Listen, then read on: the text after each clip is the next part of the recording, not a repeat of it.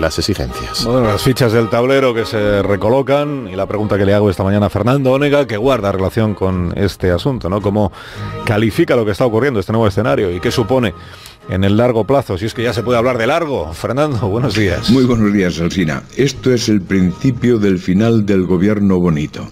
Fue bonito mientras se vendía la mercancía en la tienda de las ilusiones. Lo fue mientras la filosofía era cargarse al PP y a Rajoy.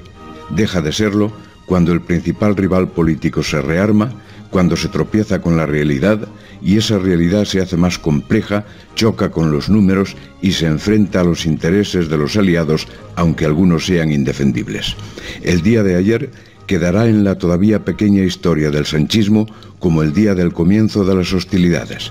Siempre hubo que contar con la fuerza del PP en el Senado, mayoría apabullante, antes de hacerlo pasar a la oposición siempre hubo que contar con las ansias de Podemos, cuyo menosprecio a la estabilidad presupuestaria nunca fue ocultado y piensa que es Robin Hood al asalto de los ricos.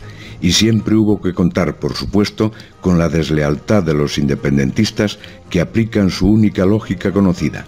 Si sus votos son imprescindibles, utilícense para presionar y obtener beneficios para la causa soberanista. La estabilidad del gobierno no es cosa suya. Cuanta más inestabilidad haya en Madrid, más fáciles serán sus objetivos. Con esa baza quiere jugar.